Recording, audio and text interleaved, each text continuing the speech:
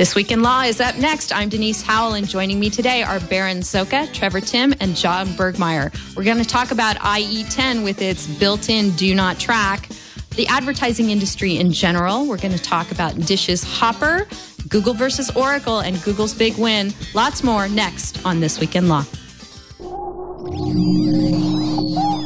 Netcasts you love from people you trust. This is Twit. Bandwidth for This Week in Law is provided by Cachefly at C-A-C-H-E-F-L-Y dot com. This is Twill, This Week in Law with Denise Howell, episode 164, recorded June 1, 2012. The right to bear fast forwarding. Enhance your workflow, send files of almost any size easily and securely with ShareFile by Citrix. Try ShareFile today. For a 30-day free trial plus double storage, go to sharefile.com, click the radio microphone, and enter promo code TWILL. Hi, folks, it's Denise Howell, and you've tuned in for This Week in Law. If you love tech law and policy the way we do, that's why we do this show, you're going to really enjoy the next hour and a half or so of our discussion, I trust, because we've got an amazing panel of folks, great experts on various fields of technology law and policy joining us today from some very well respected organizations. Uh, number one, we've got Berin Szoka joining us from Tech Freedom. Hello, Berin. Hi. It's great to see you. Thanks so much for joining us. Sure. Uh, also with us today is John Bergmayer from Public Knowledge. Hi, John. Welcome back. Hi, Denise. Thanks for having me. It's a pleasure. And hopefully, joining us shortly is going to be Trevor Timm from EFF. We've had a bit of a Skype issue, and he had a bit of a computer issue, so we're hoping to add him in uh, very shortly, have him join in our discussion as well. Uh, let's start off. We've got a ton of great stuff to talk about this week. Lots of good developments. I promise we're going to get into okay, the uh, victory. Oop, that sounds like it might be Trevor. Maybe? Nope, maybe not. Uh, we'll get him on briefly, I hope.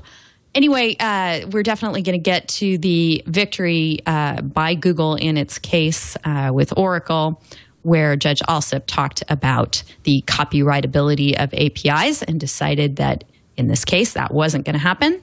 Uh, but right now, what I want to start off with is something that came down just yesterday a decision by Microsoft to go ahead and in IE 10, uh, and that means in Windows 8, its forthcoming new operating system, do not track is going to be on by default. Now, this obviously is a, um, a move to cater to folks' concern about privacy considerations and a way to play to the market and say, hey, you know, we're out there, one of these competitive browsers. Uh, Microsoft has lost a lot of its market share in the last several years to the point where it's, for all intents and purposes, pretty neck and neck with Chrome and Firefox. I think it's a bit out ahead. Uh, but to distinguish itself yet further, it is uh, going to come out and have do not track on by default. But this has ruffled a number of folks' feathers. Certainly, the advertising industry is not real excited about it. And the WC3 has had a work group uh, addressing the do not track issues um, that has been hoping to work towards standards and consensus as to this sort of thing, Microsoft has perhaps sidestepped that a bit. Berin, I know you have some thoughts on this. Why don't you bring us further up to speed?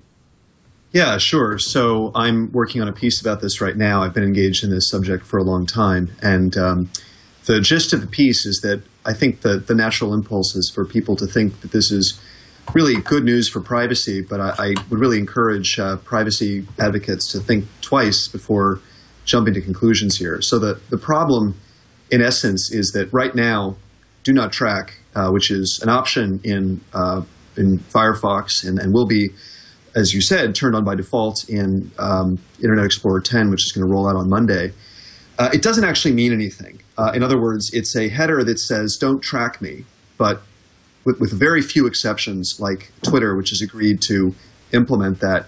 Uh, it's not yet clear what that actually means. So today uh, I, I, think it's fair to say that sending out that header is essentially, as the old saying goes, it's like a fart in the wind. It just disappears. It doesn't mean anything. And, and if you want it to mean something, if you if you care about that, as I think uh, people who are concerned about privacy do, what you need is a workable definition. And so the the central problem here is that Microsoft, for whatever reason that it did this, has um, has really derailed the W3C working group that was working on a definition of that header. So, bottom line, if you want do not track, this is actually pretty bad news. Uh, it makes it very difficult to see how that process is going to come to some workable definition because it started last November with a very, very explicit statement that this sort of automatic uh, default setting would not be um, would not be acceptable. And I, I, think it's worth just quoting one sentence here, if you'll indulge me, which is that uh, the goal uh, was to allow a user to express their personal preferences regarding cross-site tracking. Key to that notion of expression is that it must reflect the user's preference, not the preference of some institutional or network-imposed mechanism outside the user's control.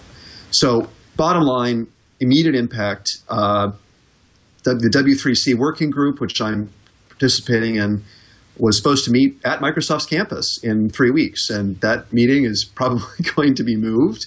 The other people in industry that have participated in that process are, I think, pretty understandably upset. And it's it's hard to see how that working group is going to proceed now that Microsoft has, again, for whatever reason, decided to uh, to change that basic premise. And, and I would just add one more important detail to this, which is that um, industry has already actually agreed to respect the do not track header in principle. They cut a deal through the Digital Advertising Alliance, which represents about 90% of the ad networks and other ad players in the industry in the US, uh, cut a deal with the White House and the FTC in February, agreeing to respect do not track. But again, on the condition that uh, the user has affirmatively chosen to exercise a, a choice in a browser based tool. And that's why the Digital Advertising Alliance was um, pretty angry yesterday in their statement, insisting that default settings that automatically make choices for consumers uh, don't actually increase transparency or consumer choice. And, uh, and finally, I would just say, in terms of setting the table here before we talk about what's going to happen next, that it's worth noting that just before we got on this show, uh, Firefox, which has about a 20, 22% market share as compared to Internet Explorer is roughly 50% market share, uh, has come out and said that they would respect the commitment that they made to user choice when they began the W3C working process. And so they're not going to turn this on by default. So the question now is uh, what's going to happen? And I can, I can help game that out a little bit, but let me stop there before we move on. Sure. Uh, or thanks I can continue for that. talking. well, we'll definitely come back to you. Um, let's. I, I actually wanted to try and pin down one issue. Not that it matters too much for the purposes of this discussion, but um, I was interested in you know who's on first as far as the market share game goes, and was trying to look that up before the show. Um, and it seems to me the W3C has Microsoft Internet Explorer at less than 30% as of April this year, 28.9% with uh, Firefox the next at 24.1, Chrome at 20, or I'm sorry, Chrome the next at 25.9, Firefox at 24.1. So it just it it seems to me like like the competition here is is much more stringent than it used to be, and that you know in my own mind that was. Um, a potential reason for Microsoft to to take this step. Now, the other thing that um, you know, my first reaction to this was, well, you know, it's a bit paternalistic. Are are we really all so unsophisticated that we can't be presented with a choice when first firing up a browser, you know, if we want do not track on or off and what it means to have it on or off. And gee, could there possibly be some ways to fine tune that too? Um, so to make a blanket decision one way or the other, I agree with you, Berin, is is not real um, productive as far as implementing the actual desires of the users. I think uh, Trevor has joined us now. Hello, Trevor. Welcome to the show. Hi, thanks for having me. Sorry about that. Little technical uh, difficulties. Uh, no problem. Uh, glad you could join us. Have you uh, been listening along, and do you have any thoughts on this uh, Microsoft move? I have. Um, I guess the only thing that I would add is that they also said that they, you know, there's there's a difference between do not track and do not target. um, you know, do not track is they're not tracking your movements, and therefore they can't send you advertisements. Where do not target is they're still tracking everything, but they're just not targeting advertisements at you. And I believe Microsoft has has stated that this is just, for at least for now, not. It's just do not target, which really doesn't stop all of these companies from sucking up all of your personal information. Um, and so that's just another reason why this, you know, may on the surface look like it's good for privacy when in fact, you know, besides undermining um, the whole the whole setup that everybody's been working on for two years, um, but it, you know, it doesn't really even on the surface help users, you know, protect their privacy. So, John, let me ask you this: um, We're talking about do not track and do not target. Um, do you think that any of this um, relates to or begins to get into the world of just don't serve me ads as well? You know, don't track me, don't target me, and I'm going to block your ads too. Um, it it could just to the extent that uh, when users have control over how they consume content and whether they you know choose to block ads in a web browser, for instance, sometimes that can really irritate the people that are serving up the content and they want it to be viewed in a particular way. You know, do not track is far beyond you know a simple user control issue because it requires so much industry buy-in and standard setting and negotiations. Uh, but nevertheless, there's an analogy, um, at least to the simple case of uh, advertising blocking. Um, right. Ex- exactly. And and uh, you know, I just I think that so few people do that that it's a bit under the radar and it's not as um, you know obviously we're all conditioned to seeing ads. We've bought into this ecosystem where various things in our lives television the web um, give us certain things in exchange for displaying advertisements to us. It's how they manage to keep the lights on and the doors open. Um, it, it, to me do not it, the the tracking technologies are sort of an extension of that um, mm-hmm. It's more insidious and more in the background. Uh, and I think well, it's that's why it gets legislators and the public up in arms. Well, what kind of interests me about this uh, new move by Microsoft, since I don't really follow the uh, the privacy angle too much, is mm-hmm. what Microsoft's motivations might be. And I just can't help but seeing it as part of the Cold War between Microsoft and Google, and Microsoft not really minding if they make it more difficult to earn your living through advertising or whatever technology online just because that's what their primary competitor online, Google, does. Okay, so Berin, you were going to tell us what you think is going to happen next. Yeah, this is this is really, I think, much more complicated than people realize. So forgive me if this seems um, uh, if this seems long-winded. Let, let, me first say just quickly on the point about market share. The, um, mm-hmm. the browser market share numbers vary, and if you look at other measures, uh, Microsoft appears to have about a fifty percent uh, measure and it, it really depends on methodology. So mm-hmm. just suffice it to say that, that Internet Explorer is in the lead. The, the, the, real question here is not so much about market share; it, it's more about uh, how high the adoption rate of Do Not Track is. And of course, it's also true that those market share numbers combine multiple versions. And the, the real issue here is that it's going to take time for Internet Explorer 10 to gain significant market share, although I think that's going to happen relatively quickly given that it's bundled with uh, Windows 8. Um, so th- that's the first point about that. The second point is, and actually it relates very much to the point that you just raised. Uh, I, I, think what to me one of the next dominoes to fall here, in my view, is that you're you're likely to see the uh, antivirus software makers. Uh, in the next versions of their own software, include an option that they would describe as protecting users that uh, that turns do not track on um, either by default or in a very um, uh, somewhat underhanded way. In other words, so somewhat paternalistically, as you say, uh, setting that for users or, or scaring them into doing so. And so, however you actually get there, the, the basic fact on the ground is that we're likely to see the adoption rate of Do Not Track grow from what the historic adoption rates have been for uh, opt outs in the privacy context, which is low single digits to something that is uh, certainly going to exceed what I think is probably industry's acceptable loss threshold, which is something like, just a guess, something like 10, 15%. I, I don't actually know. I don't think anybody really does. Uh, but you're, you're likely to see something that's going to start growing, and I don't think it's unrealistic to think that depending on how this plays out, you could see um, if Microsoft sticks to its guns here, you could see an adoption rate that gets into the 20, 30, 40, even higher percentage range.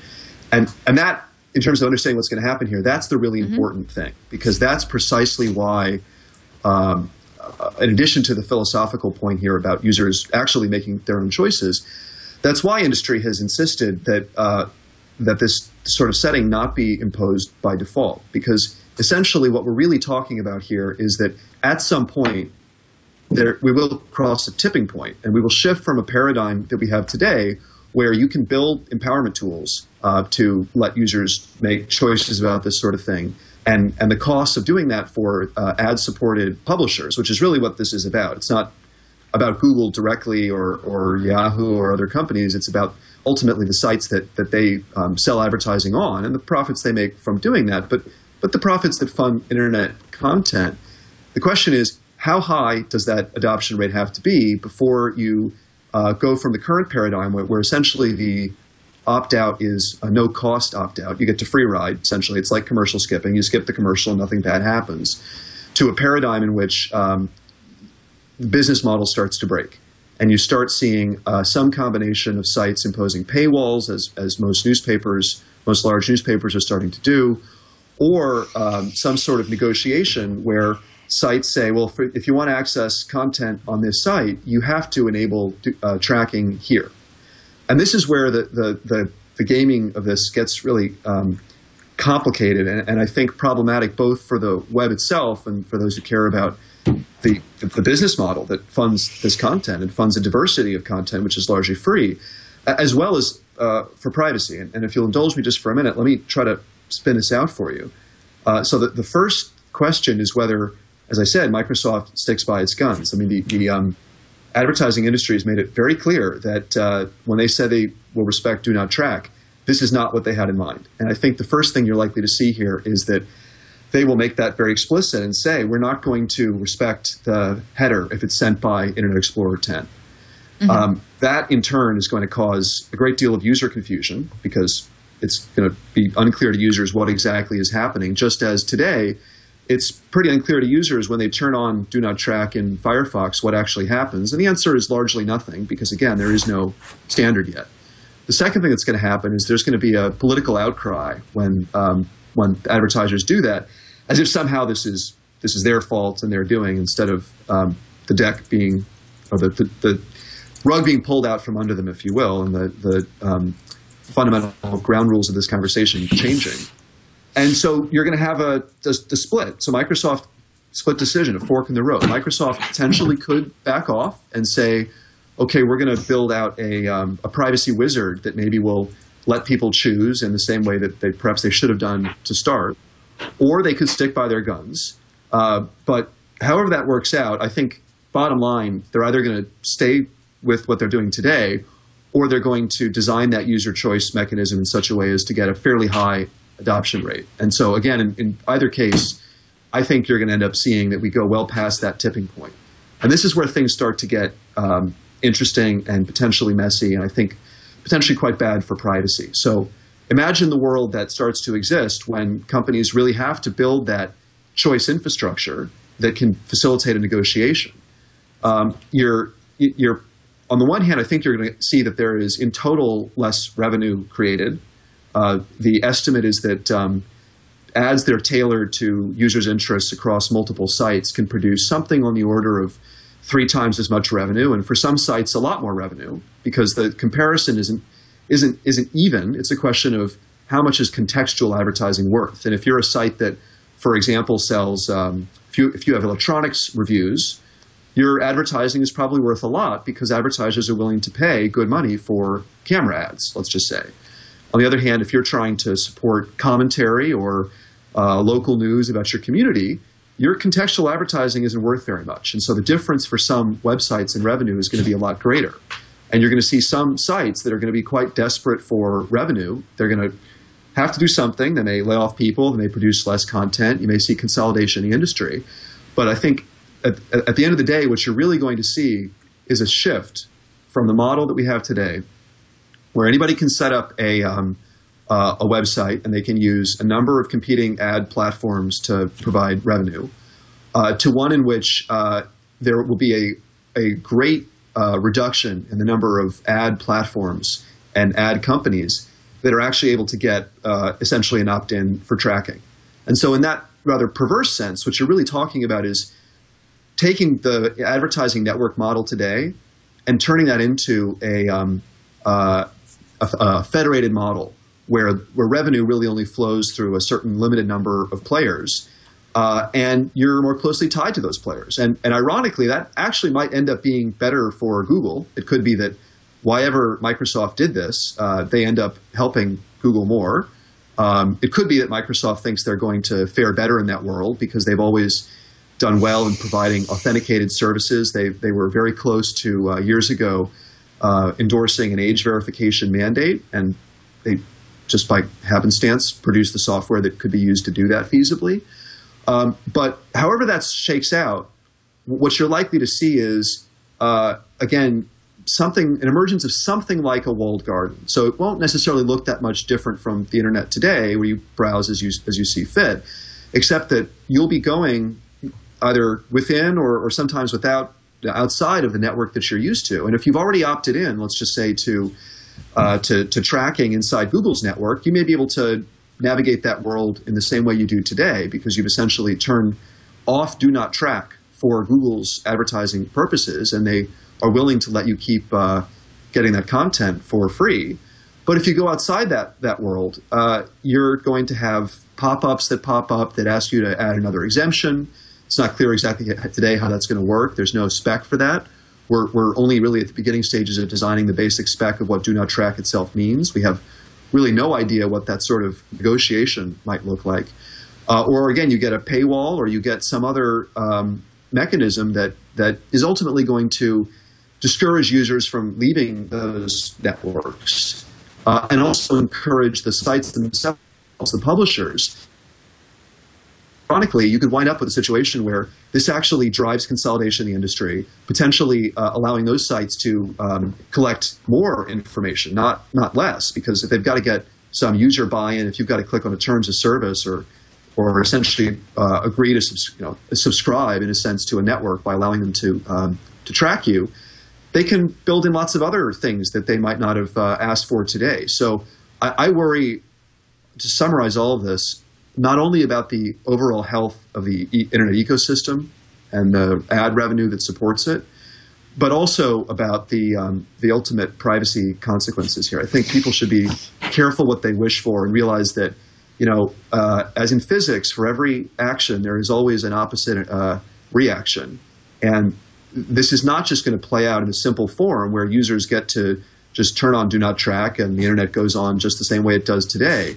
You're going to see a complex series of um, of these things play out, and it's not clear to anybody today how that's going to work or what it's going to look like. And I think we'll look back on this moment with great regret that something that could have evolved in a more organic, natural process uh, through internet standard settings bodies um, was essentially forced. Um, and, and, and in that regard, let me just say in conclusion that I, I'm going to be very careful here about jumping to assumptions about Microsoft's motives. I mean, it's certainly true that they and Google have this Hatfields and McCoy uh, rivalry going on, and they're they're lobbying antitrust suits at each other. They they really they've gotten quite vicious, and and uh, I think that I think we probably all agree on this call that that's bad for the entire internet. But, but I'm not sure that it's so simple here as that Microsoft thought that this was a way to screw over Google. Uh, I, I, think instead, uh, the more likely explanation, although it could be both things, uh, is that the Federal Trade Commission played a significant role here in pressuring uh, Microsoft to do this. And I say that for a few reasons. Um, but the first of them is that um, they already did this. Uh, two weeks ago, uh, as we mentioned or alluded to, uh, Twitter announced that it would be supporting uh, or recognizing the do not track header. And before they could even make their announcement that day, uh, that news was announced by uh, Ed Felten, the chief technology officer, chief technologist at the Federal Trade Commission. And they announced it as a win for the FTC. And I think in doing that, they really showed their hands that they were clearly involved in this conversation. Um, I, I want to be careful about speculating too much, except to say that um, there's a lot of pressure on companies like Twitter. Twitter itself has been the subject of both privacy investigations and an open antitrust investigation that was started by um, Tim Wu, who is better known as the father of net neutrality. He was my internet law professor, someone I like very much, good guy, uh, fun person to um, play uh, uh, Dungeons and Dragons with, but also someone who's got a very different vision for how regulators should operate. And and I just would note here, in case I sound too conspiratorial, that he actually wrote a paper last year on what he calls agency threats, which is where uh, the FTC might, for example, go to a company like Twitter or Microsoft and say, "Hey, you, you really want to be a good corporate player, don't you? You should you should turn on Do Not Track by default, and maybe if you do, maybe we'll back off on on these various other things." Well, to some of us, that sounds like uh, Don Corleone from The Godfather. But for Tim, even though he actually references The Godfather in that paper, he says, "Eh, you know, not so bad. That's if as long as it's used for good ends and uh, and by good people, that's a good model." And you know, and that's pretty disturbing to me. That's uh, basically the same thing in my mind as uh, what we saw last uh, spring a year ago, where Joe Lieberman was able to exercise the soft power that he enjoys as chairman of the Senate Intelligence Committee to make a single phone call to Amazon and say something along the lines of, uh, "Hey, you want to be good Americans, don't you? You don't really want to support these uh, terrorist uh, friends, friends of terrorism at WikiLeaks, do you?" And when he did that, one phone call, Amazon shut off web hosting services. It's, it's easy to criticize a company like Amazon in a case like that. But at the end of the day, we have to remember that government um, exercises vast power in, in these ways over companies. Uh, this is how the Chinese regulate the internet. They call it uh, self discipline. Uh, and while we don't like to admit it, this is what uh, our government does. And I think it, there are lots of reasons to think here that, uh, that this particular FTC, which has been uh, fairly desperate for a win on privacy and to show some results, uh, they wanted to change the debate here. They wanted to shake things up, and they pressured, I'm sure, to some extent, uh, Microsoft into doing this thing. That again, at the end of the day, the first consequence of this is to break the very process that has been ongoing for nine months that actually would have given us a workable definition of do not track. Um, well, it still so can, me, can't it? I mean, Microsoft has it, maybe jumped the gun a bit, but the W3C well, group yeah, is I'm not going saying to continue that, its work. I'm not saying that process is going to stop. I'm, I'm looking forward to participating in it myself. What I am saying is that um, uh, that process rests on an assumption that is completely contrary to what Microsoft has done. And at the very least, you're, you're going to get into a situation where the only way that that process works going forward – is if you know, you essentially have a two speed system where some do not track headers are respected because they're set by browsers like Firefox, where the user has to activate that choice. And in other browsers like Internet Explorer 8 uh, and potentially things that are set by antivirus software, the companies just uh, say we're not going to respect that choice, and the Federal Trade Commission at that point can't hold them to doing so. And you wind up with a situation where you no longer have do not track as a single effective mechanism for this. And, and then things get, and I apologize when I, I said earlier this was complicated, but things get really messy when you start to think about how the Europeans are going to react here. Because this entire conversation here in the US has been um, operating in the shadow of the question of how the European Union's e privacy directive is going to be updated. And without getting into too much detail about it, just suffice it to say that it's very easy for me to imagine a scenario in which um, you, the Europeans essentially say that um, what they currently interpret the directive to mean is that uh, uh, you can only you can only uh, collect information from a user where, where that is strictly necessary for a purpose that they have requested, and that they would say that if someone sends a header, that they are indicating their preference not to have any tracking um, conducted at all and while in the U.S. we might say, well, if if the advertising industry has, has said they'll respect headers set by users, but not other headers. Uh, in Europe, I'm not sure that's going to work. And in Europe, the consequence of this can be much more draconian because what this actually could mean is not merely blocking uh, a specific use, which is what um, we were talking about earlier. This is not so much a, a collection uh, restriction as it is a use specification restriction. But in Europe, it actually could be interpreted as a don't place cookies, don't track me at all restriction, in which case, what we're talking about here is not merely wiping out um, particularly uh, lucrative revenue for advertising, but potentially stopping the tracking that's necessary for all forms of advertising and for analytics. And the consequences of that start to get quite messy. So let, let me stop there and just say that this is, we, we, really have no idea where we're going at this point, And um, it didn't have to. It didn't have to be this way, as they say in the movies. Right. Well, I'm sure that the W3C will will continue its good work toward a standard, but there's really not much you can do if one of the market players decides to forge ahead and try something out. You know, I'm sure Microsoft thought this through and it's fun to speculate as to the reasons why it might have done so. One thing that occurred to me is that Microsoft works so much with enterprise clients um, and, you know, not that. Um, well, let's put it this way. We just ha- discussed last week on This Week in Law how IBM, IBM uh, barred Siri from coming into its enterprise environment. And I could see where, you know, it could be an IT kind of decision that uh, if we have a choice about tracking on our browsers, we'd, we'd like it to be off by default. And it just makes it easy for uh, Microsoft's enterprise clients if they take that tack. Now, that's me just completely um, talking off the top of my head and speculating. Uh, you opened so many uh, cans of worms in that uh, discussion, Berin. I'm, I'm scarcely. Um, uh, able to decide where to start the next question. But I think um, for Trevor, uh, all of this is talking about using technology to alter the way that things are consumed and making some decisions about that. Um, is Microsoft, do you think, opening itself up to, say, a copyright challenge in deciding to make uh, do not track the um, default in IE 10? Um, a copyright challenge in what respect? in mean? that they are altering the way that sites are served. They're, the, you know, if they're served up intending to have tracking involved, Microsoft is, you know, essentially slamming the door on that.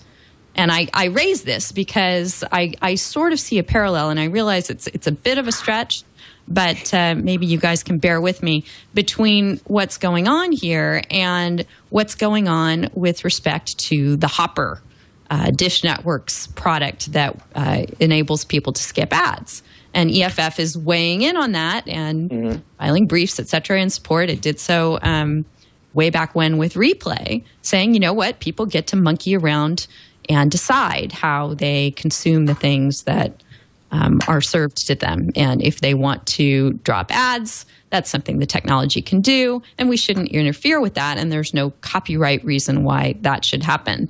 Um, do, do, you think that a similar challenge might be brought here? Uh, well, I mean, I certainly hope not. And, you know, I think the point you bring up is a good one because this, you know, the the suit against Dish Network for this new uh, program that that skips commercials isn't really a copyright thing. It's, um, you know, they're going after. So, I mean, to fill in users who don't know, um, basically, Dish, Dish, Network has this new DVR program where it, it records uh, primetime programs for an eight-day span automatically, and users can skip commercials after a few hours um, of after it initially airs. And three of the major networks sued them last week in federal court, uh, arguing that it infringes their copyright. Um, and, you know, this is just the first of a series of events that have happened over the last few months that really show that, you know, these content networks are using copyright law to try to hold on to their dying businesses instead of actually innovating and changing their business models and you know catering to consumers instead of trying to force things down their throat. Um, you know, there's a great example in another case over a company called Aereo, which is a New York startup that tries to bring local broadcast TV to the internet. Uh, they've also been sued, um, and these these uh, content companies are, are using the excuse that they're trying to save free free TV, uh, when in fact it's just the user's choice. You know, we've had DVR uh, products for years that can skip commercials. You know, we can put on, you know, we can hit the mute button and close our eyes if we want, if we don't want to watch commercials. Um, you know, they're basically saying that, you know, uh, if you don't watch commercials, they're losing jobs when in fact they're just refusing to innovate and change the way that they bring content to consumers. Like, for example, Hulu uh, last month announced that they're going to start uh, charging people for everything if you don't have a cable subscription. So, you know, they're seeing people cutting the cord, so to speak, and moving to using the internet only for their TV watching. And they're trying to hold on with every last grasp they have. And unfortunately, it's not going to work. And hopefully, uh, we're going to see these copyright suits. Um, or Dish Network is actually going to fight this, which is great because 10 years ago, uh, with the other the other company you mentioned, Hopper, um, or Replay, I'm sorry, uh, they essentially got sued out of business, and it was never really determined whether this was a copyright violation or not. So hopefully, we're going to see in the next few months that this is actually going to play out in the courts, and this will be ruled, you know, not a copyright infringement. And you know, if there was ever a situation where do not track, um, where where Microsoft or whoever could bring a suit or against Microsoft saying that mm-hmm. this was, um, you know, a copyright violation would be thrown out. Yeah. Um, Crucial Wax in our IRC says, I have zero sympathy for an advertising company that can't make a go of it without tracking me. Adapt. And, you know, it's sort of the same uh, concept when you turn it to DVRs. Um, you know, if you can't find a business model that works without letting me drop out the ads, you know, certainly copyright isn't the vehicle for solving that problem. Uh, John, any thoughts on any of this? Yeah.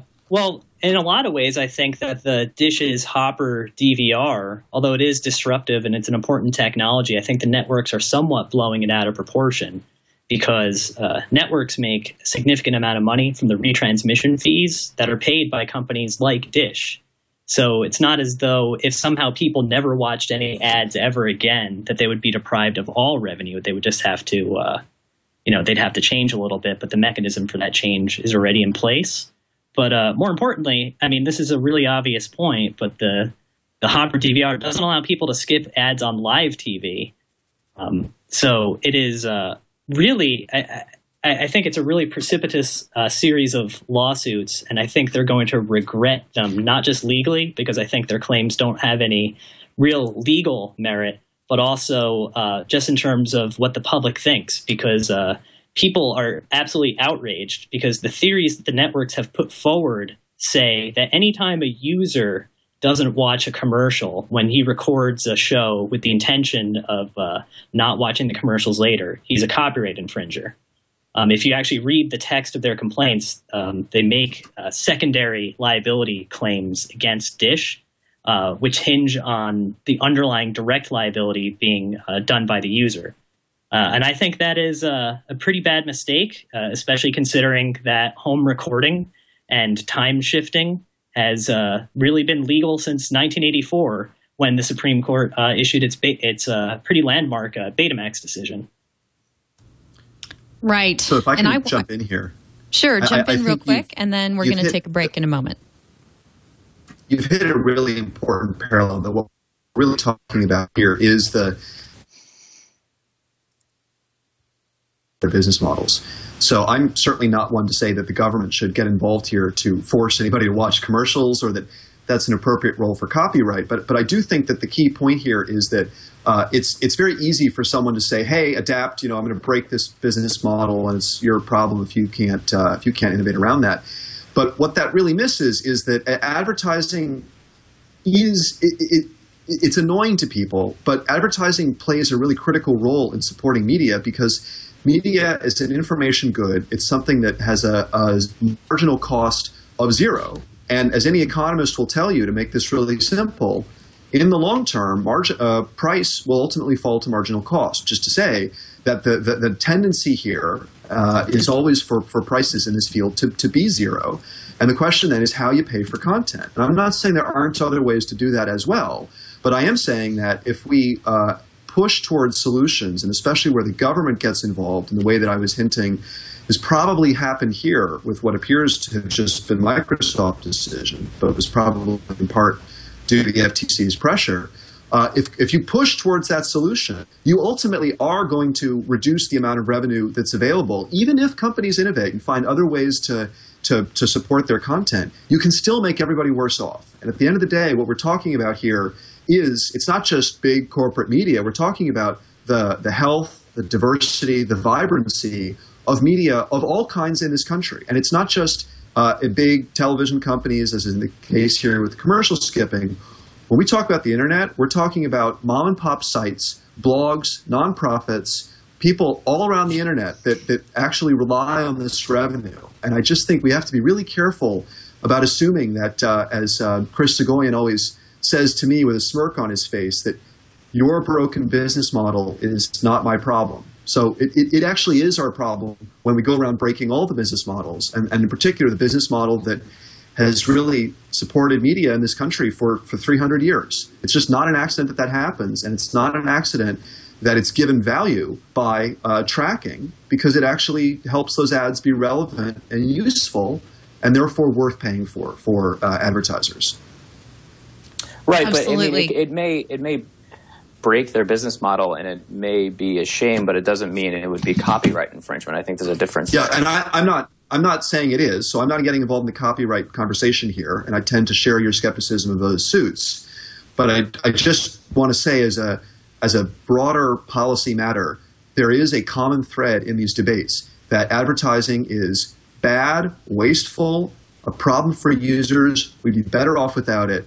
And I just want to warn people that there is no free lunch. And advertising, to the extent that anything is free today, it's free because of advertising. And in both cases here, we're talking about, about undermining that key business model, and especially in the case of, of privacy and, and do not track. No, I mean, it's a, good, it's a good point because, uh, I mean, I think if you would ask each individual, uh, you know, what do you want? Would you rather it be free or would you rather be tracked online or would you rather be tracked online and be free, or would you rather you pay for it?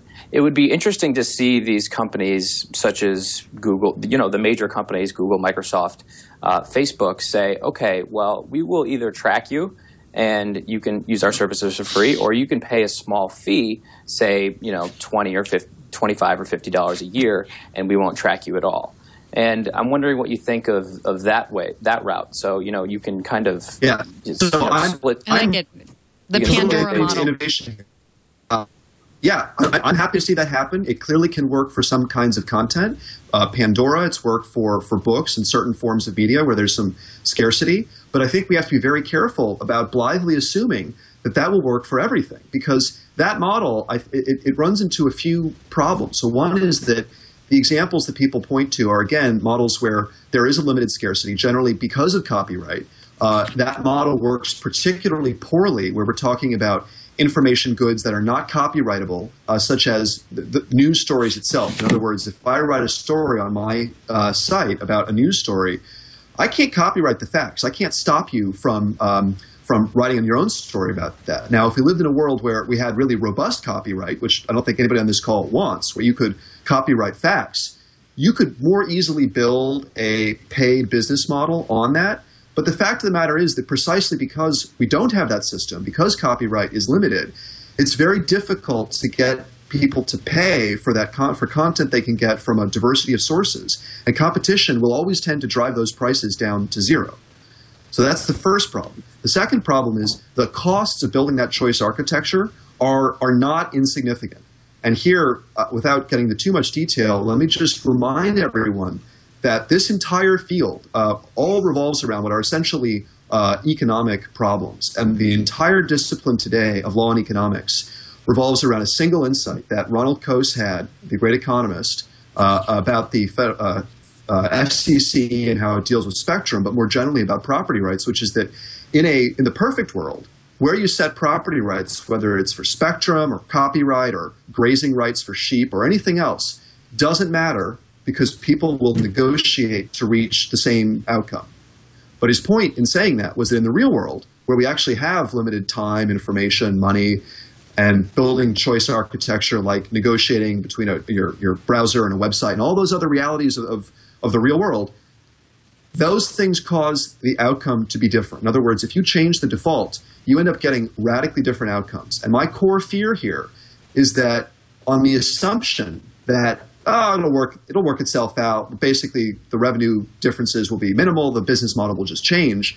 You actually could wind up shifting the equilibrium from one today where you get a significant amount of money. And we're talking about, I think it's $11 billion a year, something like that, for display ad revenue in the US. That goes to, to a long tail of publishers as well as to big ones, to a scenario in which the total amount of revenue is far smaller and it goes to a smaller, more concentrated uh, number of players. And so you end up harming not only the total ecosystem, but diversity of media, which is the thing that you know folks like EFF and our friends at Public Knowledge and other uh, media people who worry about media consolidation typically are worried about. Those values are all in tension here, and and I think that's in part why the FTC and why Congress have been so reluctant to act uh, overtly here, and why they're falling back on what Tim Wu again called the agency threat model, which is just coerce on the margins, get people to move little by little, and hope that you don't break the whole system. Okay, so let me give you a um, concrete example. Let me give us all a concrete example of innovating with the advertising model, which we do here at TWiT. Um, and I'll go ahead and drop our ad into the proceedings here, but go a little meta on it and just mention that, you know, of course, we're not tracking you with our advertising uh, and that our ads are carefully selected. You know, we're not dropping in ads that uh, advertisers come to us and say, you know, hey, we're going to pay you X amount of dollars and throw this in your show. And we're very selective about what goes on to the advertising here at twit.tv. They're products that we uh, genuinely think that our users can use, that we often use ourselves, and that, you know, we think have real value.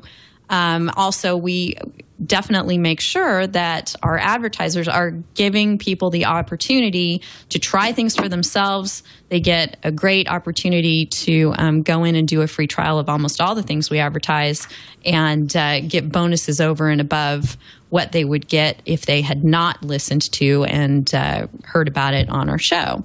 So uh, before I go ahead and uh, tell you more about ShareFile, who is our sponsor for this show, I, ju- I just will mention that we're here with Berin Szoka from Tech Freedom, and um, we're here with John Bergmayer from Public Knowledge and Trevor Timm from EFF having a great discussion about the fundamentals of our economy and the internet economy in particular. Um, advertising do not track copyright. Uh, entertainment as you know it, we're going to get to in a while, and a huge decision uh, from the court in the Oracle versus Google case. But our sponsor this week is ShareFile. And uh, we really encourage you to check it out for yourself. You, um, I mentioned uh, doing business in the enterprise. I have been part of an enterprise before. For folks uh, who are not real familiar with me, I worked at a big law firm for many, many years. And uh, when you're wor- whether you're working in that kind of an environment or you're a professional on your own, you need to present a professional uh, business uh, tool for folks to work with. And what's happening more and more these days is uh, reaching out to tools out there that fill a need. Um, in this particular need, sharing enormous media or other digital files um, that you cannot include. You know, our broadband infrastructure has has leaped uh, miles and miles ahead, but still, you know, if we're talking about sharing enormous files uh, you're going to have to not just worry about how fast those things go across, but what's there to catch them on the other side. Um, and you need to have a trusted partner to do that with. So rather than going out and using one of the myriad of free services, you don't know about their encryption, you don't know, you know, who they are really. Um, you do know who Citrix is. They have been serving the business world for years and years. And they have created this tool that really gives you what you need to survive in today's digital world. You can collaborate with clients and coworkers. You can send and share those important, huge files uh, in real time, securely and completely under your control. by using ShareFile from Citrix. It's a secure file sharing solution built specifically for business. It offers a full suite of desktop and mobile options that enable you to easily collaborate from anywhere, anytime. There's an Outlook plugin that allows you to easily receive and send files of almost any size directly from Outlook email, which we know is sort of king in the enterprise. And you no longer need to worry about if a file is too big to send. Uh, you want to be able to, when I was working in big law firms, um, we always had this thing called the extranet, which was constantly being built out and was difficult to use. And it just, you know, was kind of more trouble than it was worth. ShareFile becomes your extranet. It is completely customizable to your own uh, graphics, look and feel of your website, etc. And it serves that purpose that you need seamlessly of being able to share a file with very fine grained permissions, um, have it be there available for a limited amount of time, so it's not just hanging out there on a server. Um, in an, un, you know, not that it's ever unsecure, but you just you want to know that af- after a certain amount of time, it's going to go away when you need it to go away. And of course, if you need to share it again, you can do that again. Um, it's the perfect solution for any business. It's a really incredible offer that we've got for you. You're going to get a 30 day free trial plus not just the same amount of storage that you might get from any other free trial, you're going to get twice that. So I want you to really go out and try it. Uh, share some enormous files and see how great the service is. You go to sharefile.com, click the radio microphone, enter the promo code TWIL, T W I L. That's sharefile.com, click the mic, and type in TWIL. We thank them so much for their support. Now, I'm actually going to work in a legal question for Trevor based on the way we do ads here at TWiT. Uh, as I said, we work them uh, into the discussion. They're not just dropped in. It's not some actor or actress uh, coming in and telling you about ShareFile. It's the hosts generally that do that. Um, Trevor, do you think that? Uh, first of all, let me back up a second and say I am having a, tr- a terrible time getting my head around how uh, the networks are arguing that there's copyright infringement regarding the Hopper at all. Um, okay. Because uh, uh, in my own mind, the copyrighted material, the creative works, are the shows themselves. And if you're saying that the entire broadcast with its ads is a copyrighted work, then that's one thing. I suppose you could make that argument. Do you think I, that that's where they're going? And do you think it makes a difference if you do ads it, the way that we do them? I don't want to steal the question from Trevor, but uh, sure. I actually, I actually have a really good answer to this because what they have to do, watching a commercial is not an infringement of any of the copyright holder's rights, and it can't be. Um, so what they have to do is say recording that is making a reproduction. They're saying that when you're recording with the intent to skip a commercial later, that violates copyright because it's not a fair use recording. While as recording to watch a, a show later with the commercials intact, well, that's okay. That's essentially the argument. It's a weird argument, and they would definitely prefer it to simply be illegal to skip commercials per se. And in fact, in 2004, um, Orrin Hatch, I believe, in something called the Pirate Act, introduced language that would make it illegal to fast forward through commercials. Uh, that would be a much cleaner way to go about it. It's definitely cumbersome the way they're doing it through copyright. And uh, and I just have to say this: we have a letter right now on publicknowledge.org. If you click on our Act Now section, where we're going to give it to the network executives that are suing Dish, and we want to show it to Dish's competitors too, to show the demand for this sort of service, uh, which you can sign to express your outrage if you're a viewer and you are yourself being accused of copyright infringement for fast forwarding commercials. But uh, your your basic point, Denise, is that it doesn't really make sense because copyright law is not designed to uh, to affect this. Mm-hmm. Right. So what you're saying is is it's going back to that Betamax decision and the fair use decision hung there on the time shifting aspect of what the v- the VCR did. Um, yeah, that they're basically saying that if you're not recording to time shift, you're recording for some other purpose, then you're out of luck on fair use. Yeah, their legal argument is actually pretty amazing because it's saying that the technology of the 80s, they're they're not saying, "Well, Betamax was wrong, overturn it." They're not they're not, you know, challenging the Supreme Court just yet. But they're saying, well, Betamax really only applies to 80s style technology. And if you make your, and if you improve your home recording technology at all by automating anything that users could already do manually, well, no, that's a, that that's a copyright violation. And I think that's an absolutely, uh, you know, crazy sort of convoluted claim, and it just reaches to the fact that copyright law doesn't say that you can't fast forward through commercials. Although, you know, again, they, they wish it did. Right. Yeah, there's a huge difference between protecting your copyright and then use or using or abusing copyright law to maximize your profits. And I think that's what we're seeing here. It's you know it, it's not actually a copyright problem. They're just trying to use the law in a way um, to you know blow a hole uh, into the whole system where they can essentially claim copyright for everything. And I think we saw this in the SOPA debate too, where these these companies would have gotten, uh, you know, basically complete immunity um, for um, you know censoring other websites. Like ISPs could have gotten immunity if they started censoring websites by themselves. And obviously, these ISPs are also owned by content companies. Um, you know, Comcast, NBC being one, where uh, you know the content company can say, "Oh, this this." So and so website is infringing our copyright, and then their ISP would be able to censor them with no punishment. And this may have stopped some copyright infringers, but it obviously would have been used to shut down emerging competitors. And this is this is the kind of tactics that they're resorting to now that they see that their you know their profits are sinking because the internet is changing the game.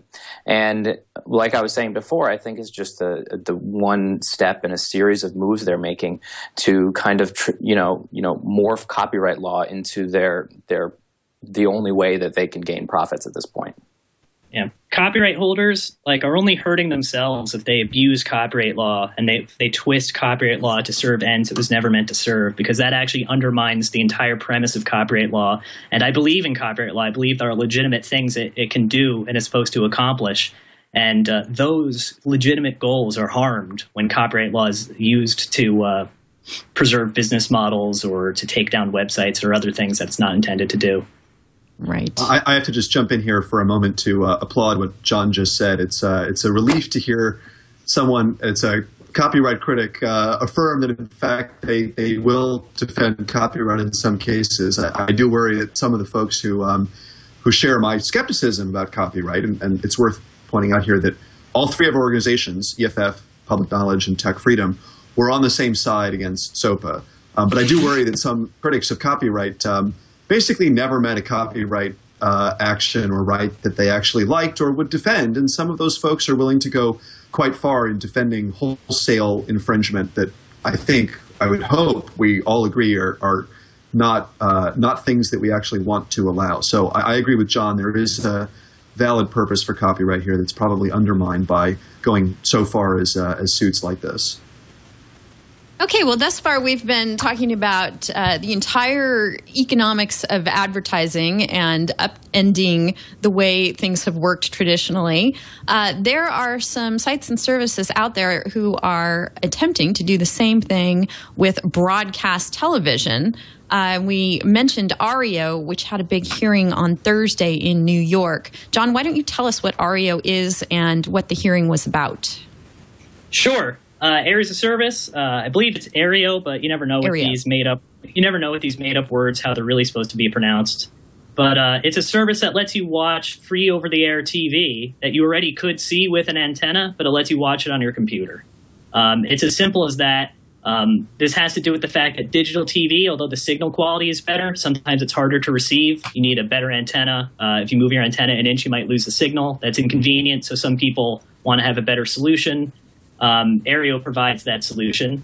Um, they're being accused of copyright infringement. Um, because uh, it's being said that they are retransmitting uh, copyrighted content over the internet.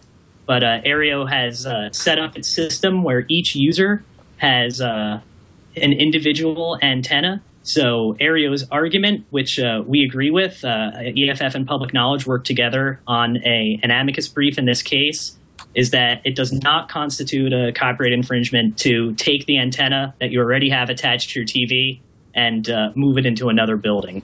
And this follows the uh, Cablevision precedent, which was in the Second Circuit, which is governing law uh, in the Aereo case.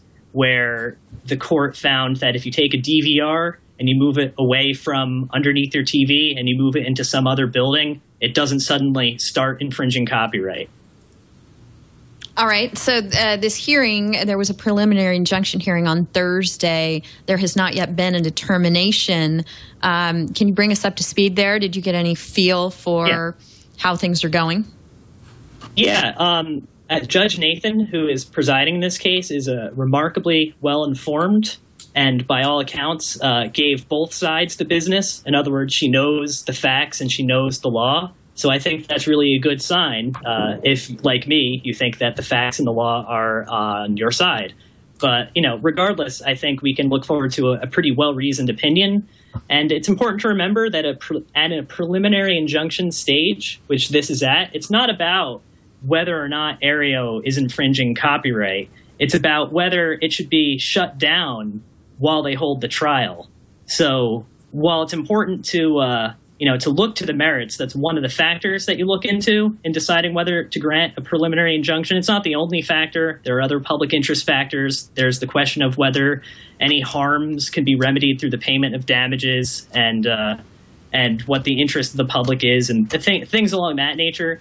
So uh, even if you think that Aereo is violating the law here, um, that doesn't say that they should be shut down before they've had the opportunity to fully uh, defend themselves at a trial. All right. Well, uh, we talked about retransmission consent and how that comes into play here. Uh, Trevor, what's the Next Generation Television Marketplace Act? And uh, how does it relate to what we're discussing? Well, actually, I can. I, I'm just going to want to go back to something John said Oh, because sure. I think it's really important. Um, he was talking about how, uh, you know, it, it's important that they, um, you know, get their day in court before they get shut down, and that's another problem that we've seen a lot in in these copyright suits. Or I mean, cop, cop, criminal copyright cases where the uh, there have been hundreds of websites that have been seized uh, by the U.S. government and essentially shut down with a giant banner across them saying that they've been seized by the U.S. government uh, before they ever get to trial. And it's become a real First Amendment problem. And, and it's probably gone, I think, um, you know, it, it's, it's been underreported.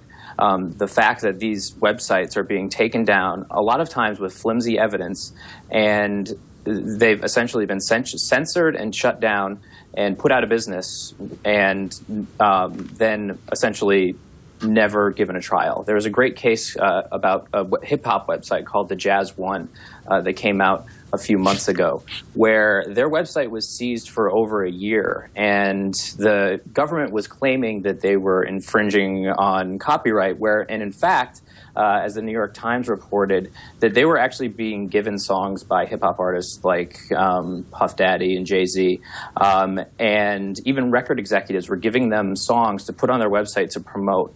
Um, and the Justice Department ended up seizing their their website, and uh, it went on. The case went on for over a year. And after a year of the their lawyers, you know, begging to be this case to be heard in front of a judge, the uh, Justice Department just dropped the case. No apology, no nothing. And their business was ruined because of it. And we've seen this over and over again.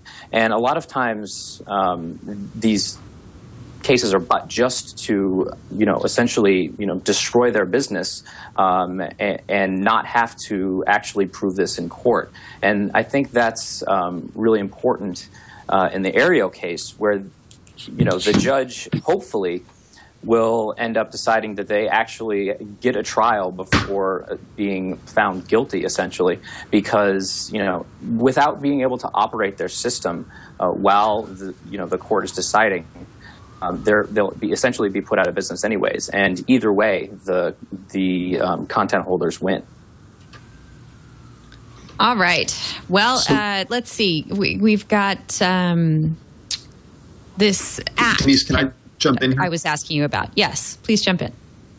Yeah, so uh, this act, the Video um, Television Marketplace Act, uh, this is really quite important. I think we need to step back and understand what the context here so uh, is. So, just briefly, uh, what we've been talking today about is uh, retransmission consent, as you say, and that's essentially the the right of broadcasters to withhold their signal from someone that would retransmit it, whether that's a cable system or uh, some potentially new company like um, like Aereo.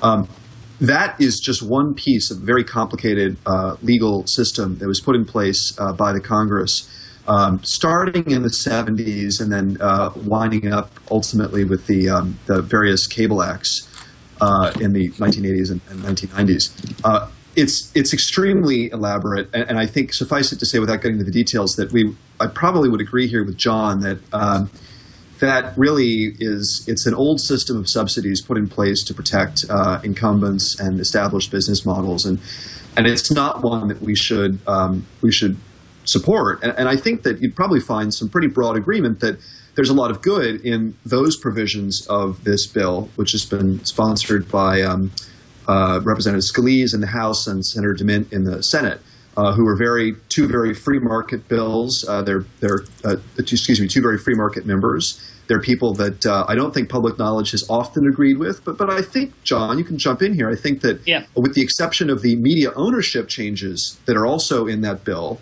that there's a lot of uh, of good in the bill. We'd probably all agree on that. But yeah. and you want to jump in before I continue? Yeah. So so yeah, I actually recently wrote a white paper on what I see as the future of video, which I will plug. It's called Tomorrow Vision, and you can get it at publicknowledge.org slash Tomorrow Vision. And uh, I actually do agree that the DeMint bill is a good end for like a good end state. And I think that we should aim to get rid of some of the archaic and weird cross subsidies and behavioral style regulations that are uh, that really distort and complicate the video marketplace. I might disagree with uh, with with DeMint and supporters of that bill because I ultimately think that we need to have a more competitive marketplace uh, before it's deregulated. In other words, I think that the some of the incumbents have gamed the system for so long that if you precipitously deregulate it, uh, they'd be able to simply lock in their advantage uh, for many years to come, and I think that would be unfortunate. And I might disagree about you know, you know how to apply antitrust law or other more general structural style regulations uh,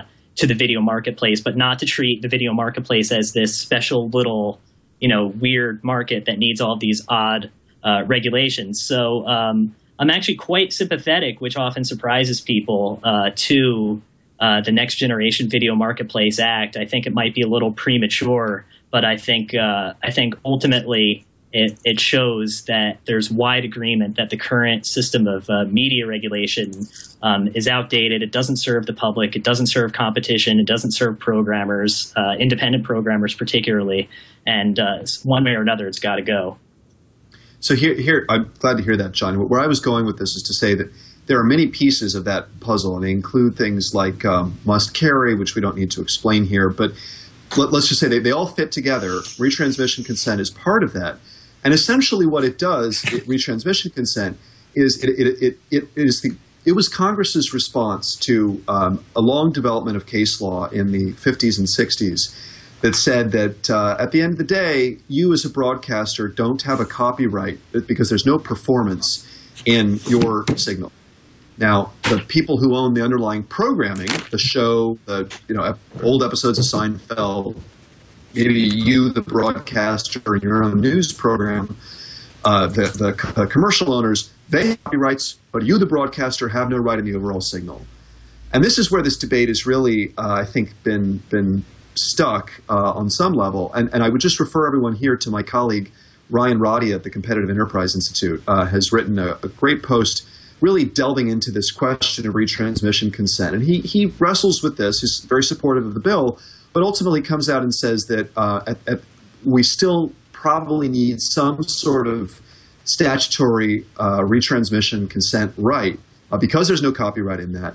Uh, in precisely in order to say that if if a, another company wants to negotiate with a broadcaster to uh, transmit their signal to retransmit it, that they actually need to have a right to do that. Because if you take that away, the broadcasters at that point have no right and you you've disintermediated them as a channel, and you basically just go to a uh, a world where everything becomes a la carte, the programming from the, the network, the local programming, uh, and that's not necessarily a good world. But at least having that right gives them some uh, ability to negotiate.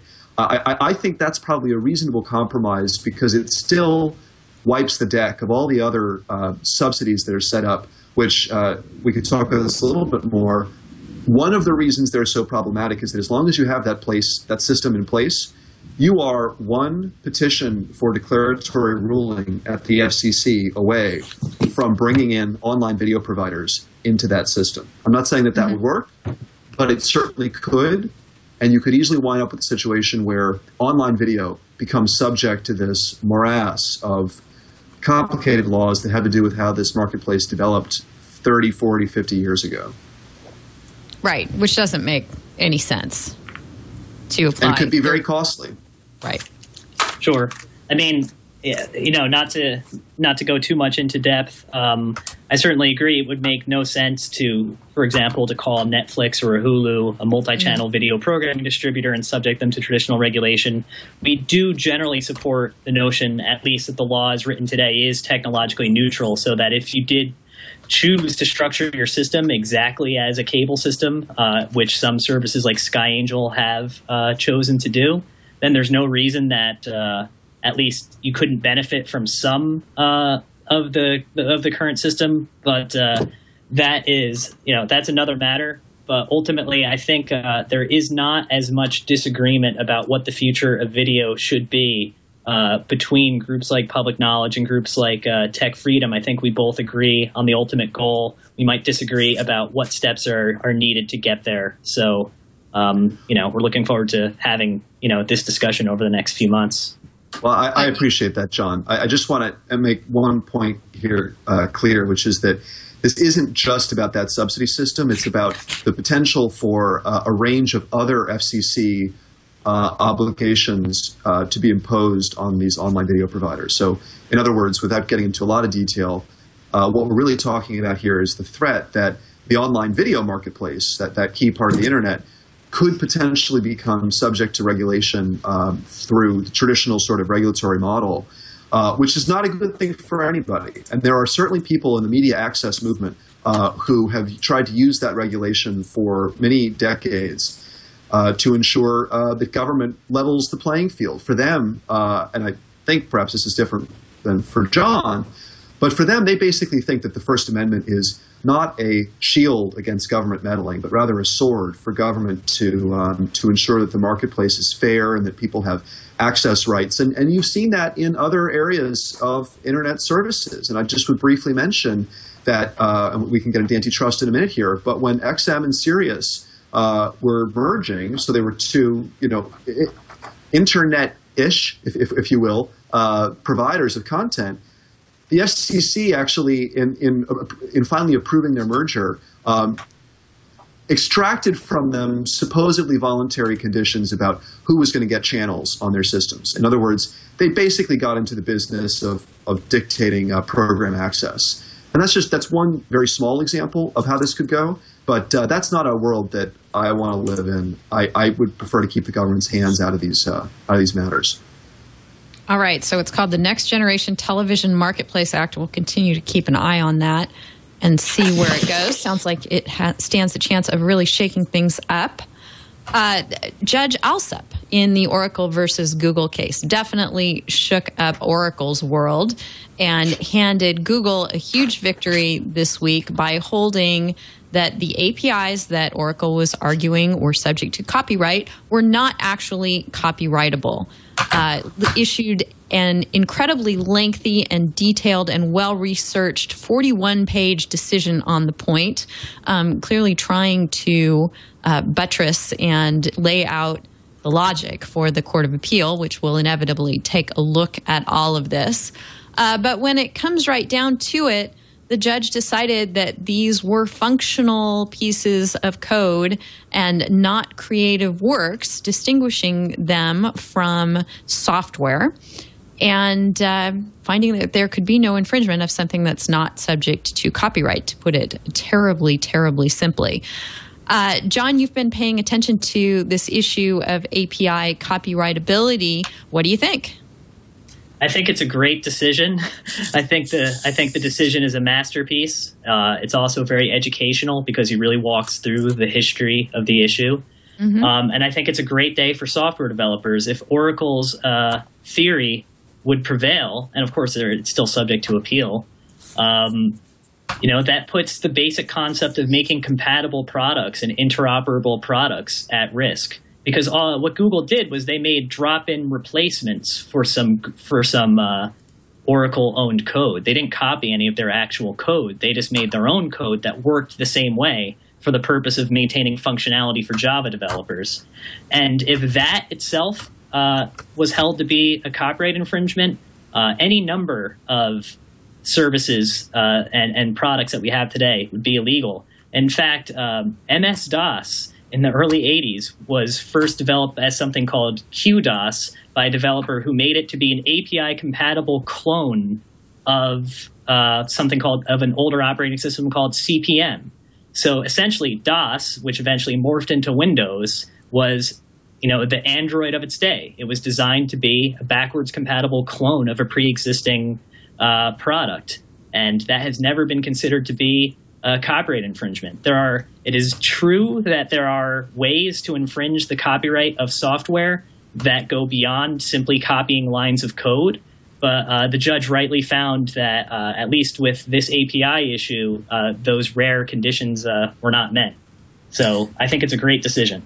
Yeah, I think we were. Um, I think everybody was really lucky that Judge Alsup was on this case because, as John said, if um, everybody should read this if they want to really understand uh, how Java works. And I mean, I think he made a great analogy when he compared APIs to a library with each package being a bookshelf and each class being a book and then each method being a chapter in that how-to book.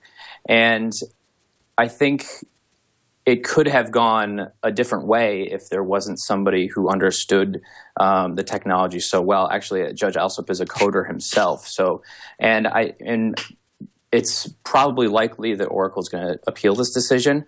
Um, but again, Judge Alsup's decision is going to go a long way in educating the appeals court, who may not be as up to date on technological issues as him, as to how this works and how important it is. Well, hopefully yeah, they'll that- get Judge Kozinski on the panel, and that will help matters as far as being technologically up to speed.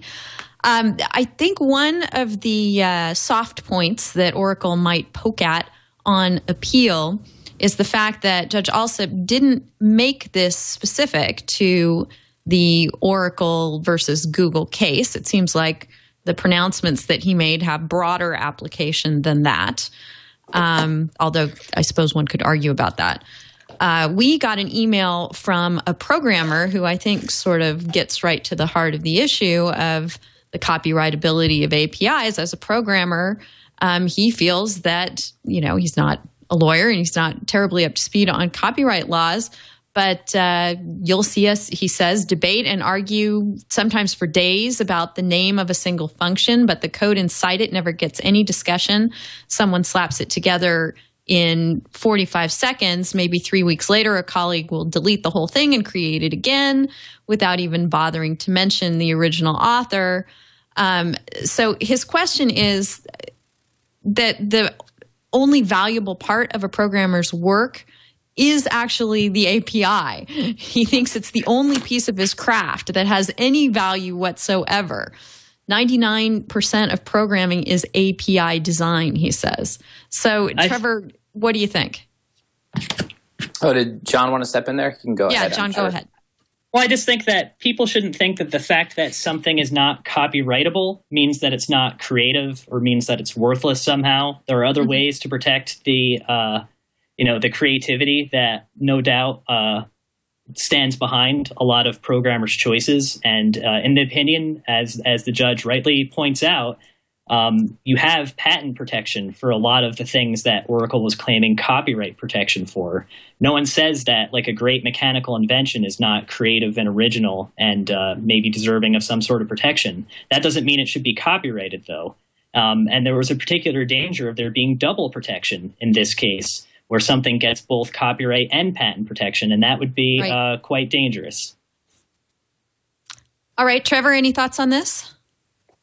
No, that was exactly what I was going to say. You know, the, mm-hmm. the judge specifically said, you know, I'm not um, ruling that this is not patentable, but mm-hmm. it's not copyrightable. And right. you know, the the the And he- time they just length of a lost patent on is the much patent claim. lower than a cop, you know, copyright, and this would essentially freeze all innovation and you know destroy the way that you know the internet works. And luckily, the judge understood that.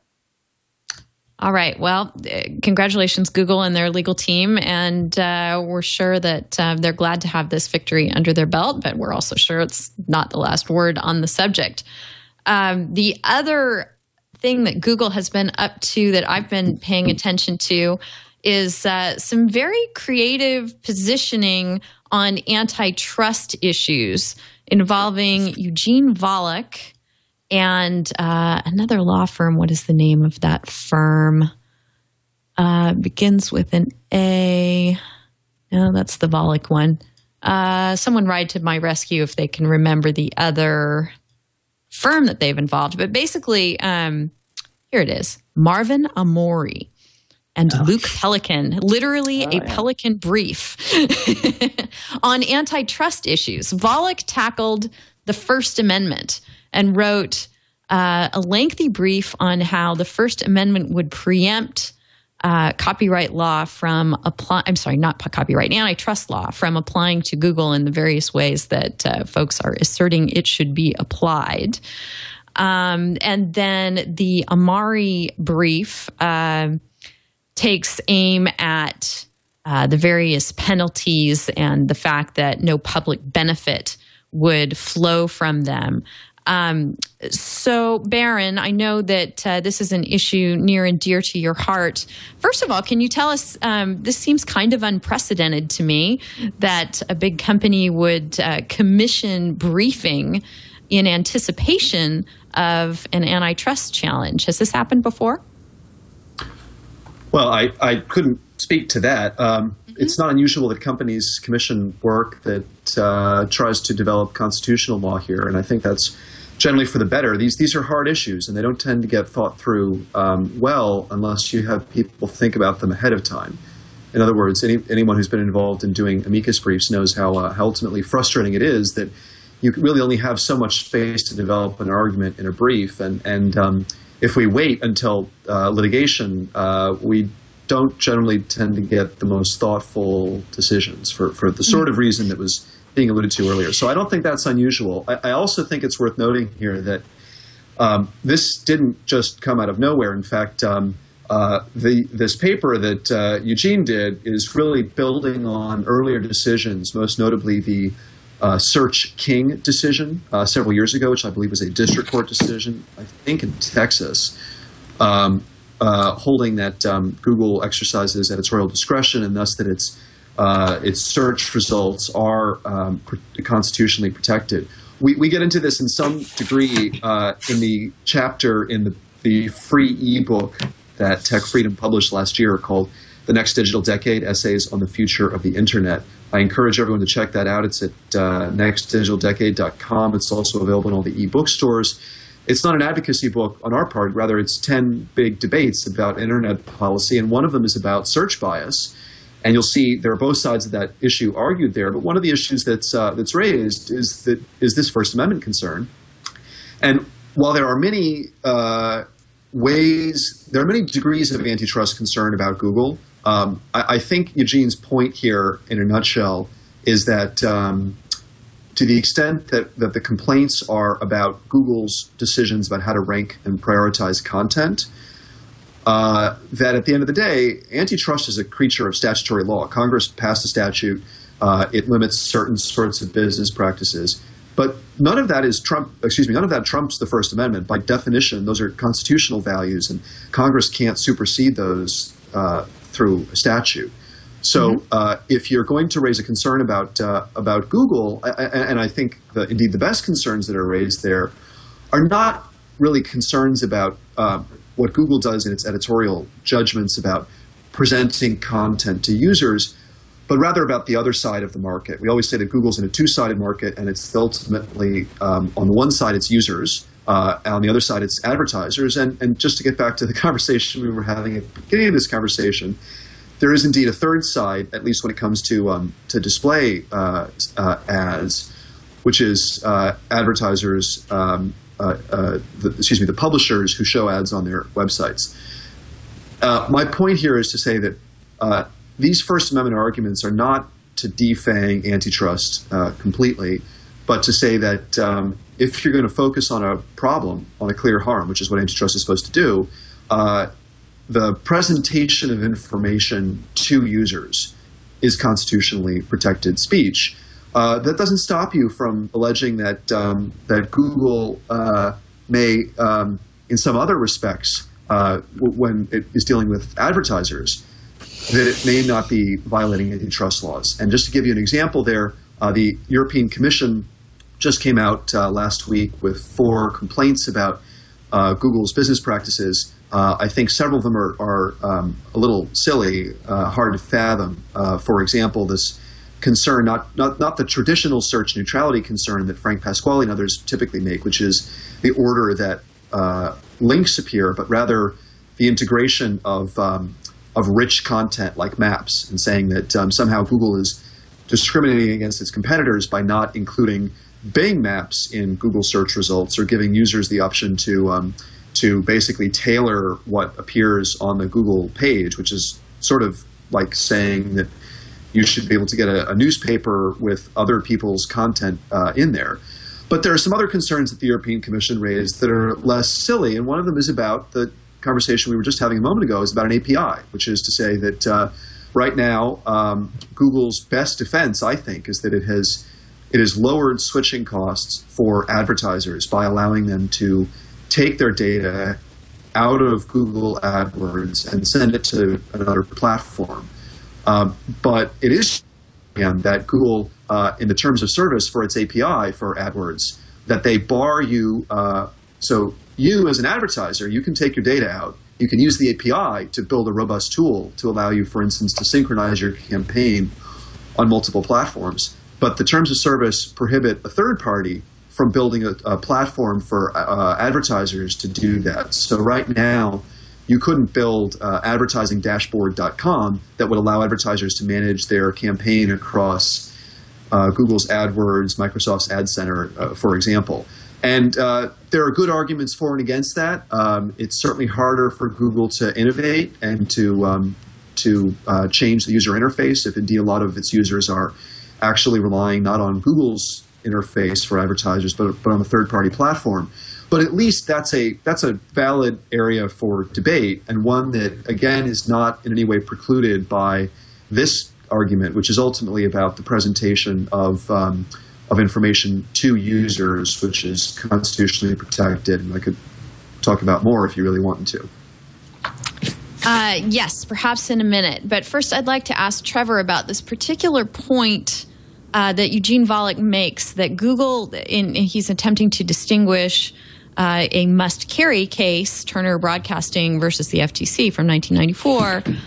Um, that Google's more like a newspaper than a television company uh, because of the fact that it has original content in the way it decides to present results, as opposed to simply carrying content provided by other people. What do you think of that, Trevor?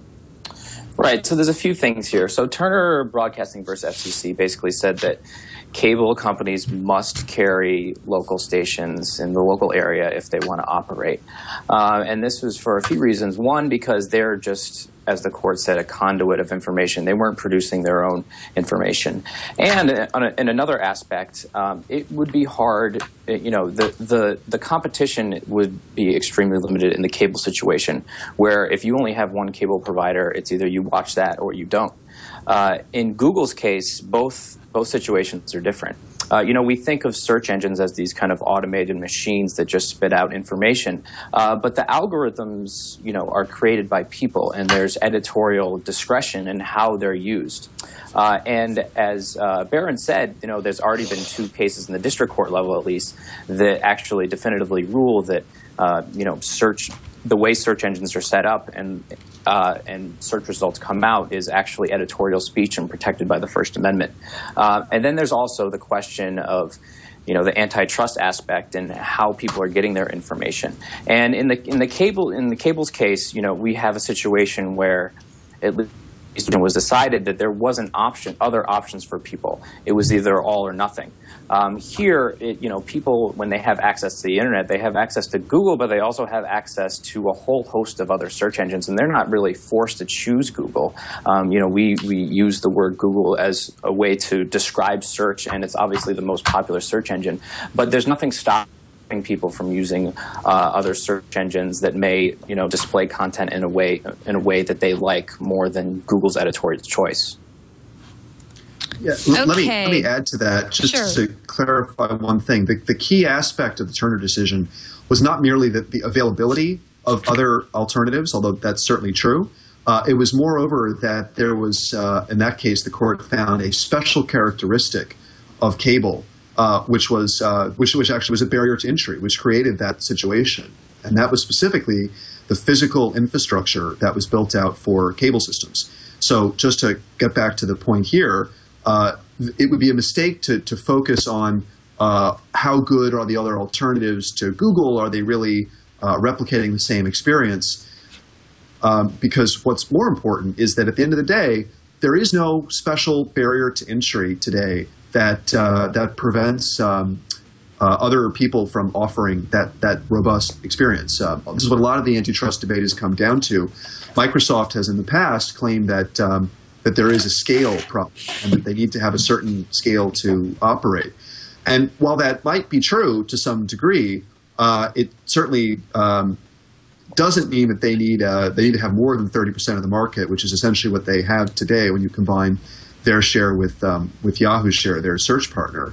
Uh, whatever that threshold is, it's fairly low, and moreover, this is different from cable in the sense that it's not just a single paradigm. So we're not just talking about search and, and search and apples to apples comparison, but rather that there are that the market here is more diverse. There are lots of ways of finding information. And as an example of that, you, you see not only companies like Yelp that provide a particular uh, kind of vertical search, but also you're starting to see that Facebook is emerging into uh, another vehicle for people finding information on the web.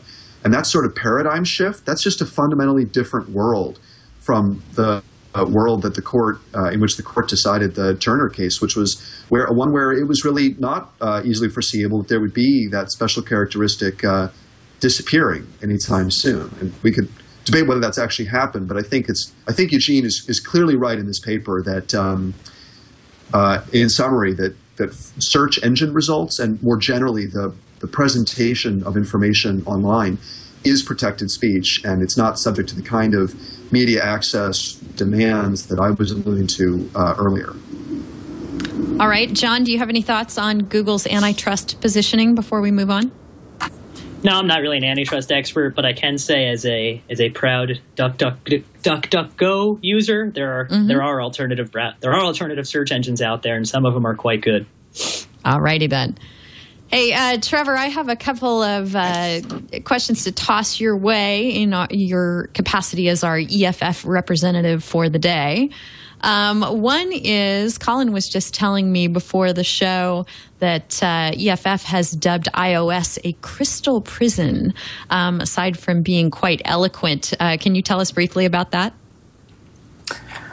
Um, unfortunately, I didn't write that piece, but it's actually a All great right. piece if anybody's uh, interested. Um, it, ta- it just talks about um, essentially walled gardens and how you know uh, our our iPod and our iPhone and our iPad are, are, are beautiful devices, and that's you know that's that was Steve Jobs Steve Jobs's you know motivation in creating them, um, but that they actually restrict users from doing a lot of what they wish to do, and in the end, that's bad for both innovation and users.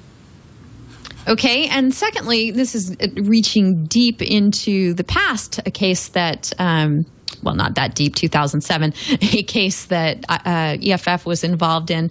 Folks will remember um, the dancing baby dancing, or maybe it was a child, to Prince's Let's Go Crazy, which actually resulted in a lawsuit. And uh, I wanted to just bring up this issue of music used in YouTube videos and revisit it since there has been a lot that has happened since 2007. Just last week, uh, we had the very viral uh, video flying around of the lip dub, dub proposal. In case anybody missed it, I think we might have a bit of it queued up. Uh, you guys will remember, you've probably seen it a few times now. Uh, the Bruno Mars song playing a central role in this really quite adorable wedding proposal.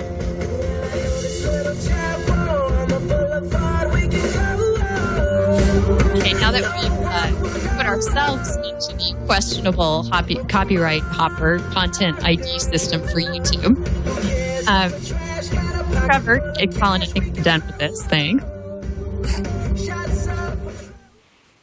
Uh, uh, Trevor, what's the state of putting music in videos? And does it matter? You know, I would say that this one is very much a pivotal part of that video, does it matter if you've just sort of captured some music that's playing in the background?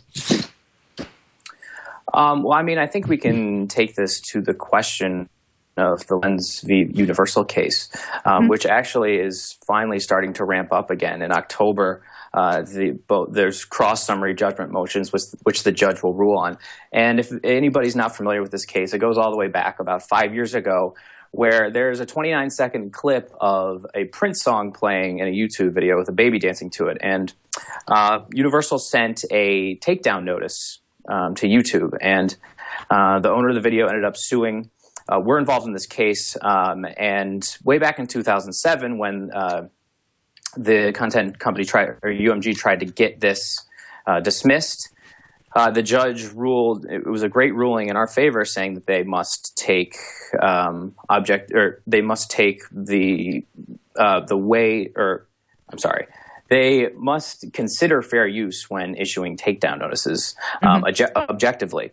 And now we're actually getting to that. That was just in the motion to dismiss, and now coming up after years of procedural issues and, and other issues uh, regarding attorney-client privilege um, that have now been solved uh, they're actually going to rule on the, the issue of whether um, they have to consider fair use when issuing takedowns. And it, it, could be end up being a landmark decision as far as uh, these automated takedown uh, situations that a lot of these content companies have going on. Like there was a situation six months ago where Warner Brothers admitted in court that they were sending automated takedowns to videos that they had never even watched or some that they, they, they didn't even own.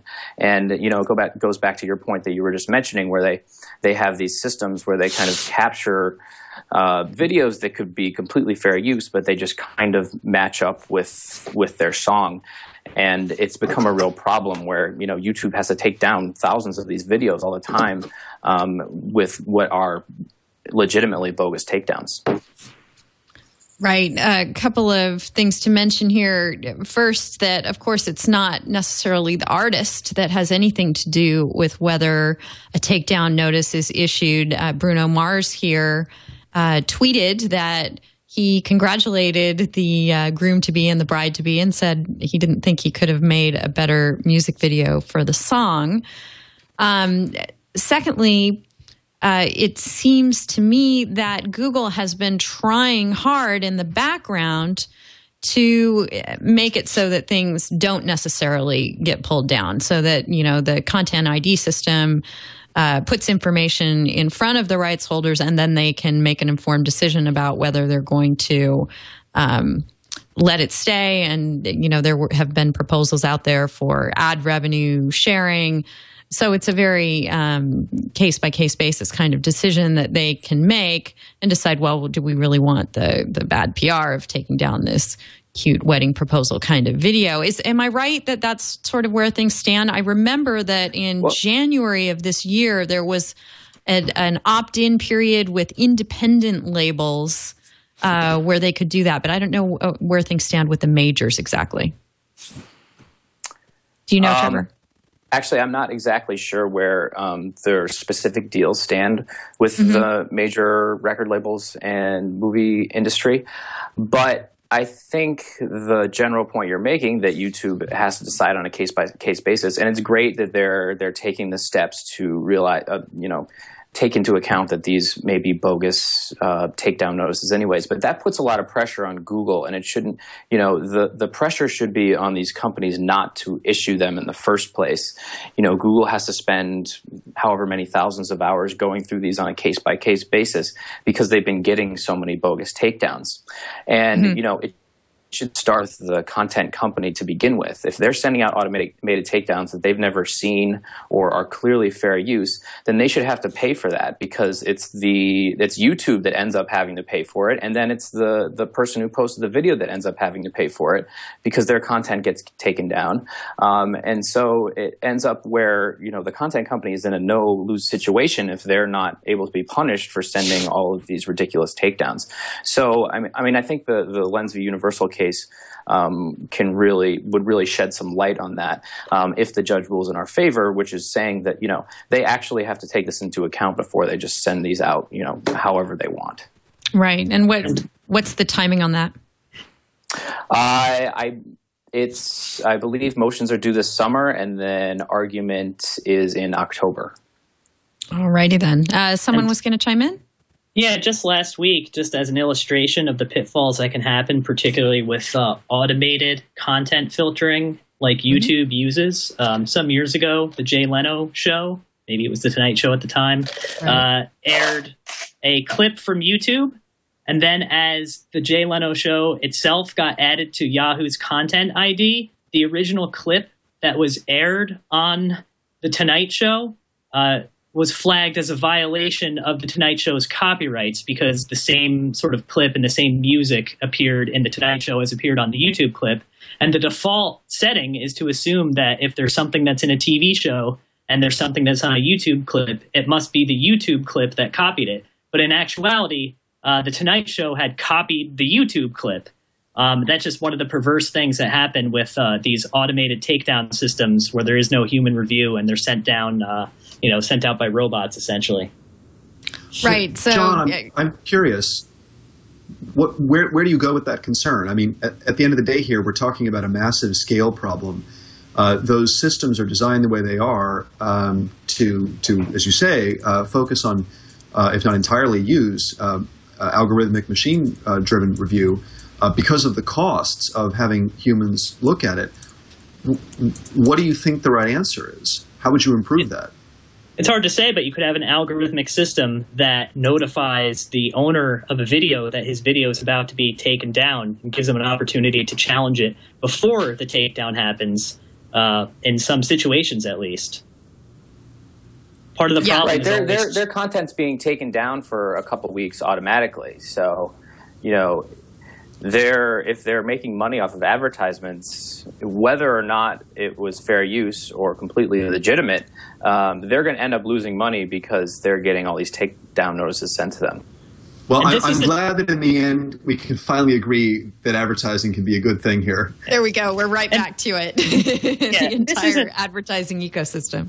And by the way, I don't necessarily see this as a policy or, or a law question, just as a an example of uh, I think there's a lot of magical thinking where people think there's a magic stop piracy switch that you can just flip and you can just automatically detect uh, copyright infringements and not have any false positives. And examples like this just show how hard a problem that is. And that's the kind of factual backdrop that you need to have when de- when deciding what the right laws and policies uh, ought to be.